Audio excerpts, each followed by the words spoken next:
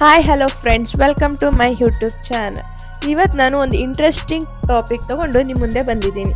ಅದಕ್ಕೂ ಮುಂಚೆ ಯಾರೆಲ್ಲ ನಮ್ಮ ಚಾನಲ್ ಸಬ್ಸ್ಕ್ರೈಬ್ ಮಾಡಿಲ್ಲ, ದಯವಿಟ್ಟು ಸಬ್ಸ್ಕ್ರೈಬ್ ಮಾಡಿ. ಹಾಗೆ ನಮ್ಮೆಲ್ಲ ಹೊಸ ವಿಡಿಯೋ ನೋಟಿಫಿಕೇಶನ್ಗಾಗಿ ಬೆಲ್ ಐಕಾನ್ ಕ್ಲಿಕ್ ಮಾಡಿ. ಇವತ್ತಿನ ಟಾಪಿಕ್ ಏನಪ್ಪ ಅಂದರೆ ಬಿ ಪಿ ಎಲ್ ಕಾರ್ಡ್ ಇದ್ದವರಿಗೆ ಸರ್ಕಾರ ರಾತ್ರೋರಾತ್ರಿ ಶಾಕ್ ಕೊಟ್ಟಿದೆ. ರಾಜ್ಯದ ಸುಮಾರು ಅರವತ್ತು ಸಾವಿರ ಬಿ ಪಿ ಎಲ್ ಕಾರ್ಡ್ ಇದ್ದಕ್ಕಿದ್ದ ಹಾಗೆ ಎ ಪಿ ಎಲ್ ಕಾರ್ಡ್ ಆಗಿ ಬದಲಾವಣೆಯಾಗಿದೆ. ಬಿಪಿಎಲ್ ಕಾರ್ಡ್ಗಳ ಪರಿಷ್ಕರಣೆಗೆ ರಾಜ್ಯ ಸರ್ಕಾರ ಮುಂದಾಗಿದೆ. ಅದರಂತೆ ಅನರ್ಹ ಕಾರ್ಡ್ಗಳನ್ನು ರದ್ದುಗೊಳಿಸುವುದಾಗಿ ಈಗಾಗಲೇ ಸೂಚನೆ ನೀಡಿತ್ತು.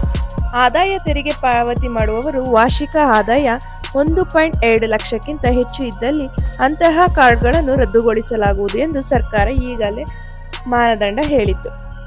ಅದರಂತೆ ಸರ್ಕಾರ ಪರಿಷ್ಕರಣೆ ನಡೆಸಿದೆ.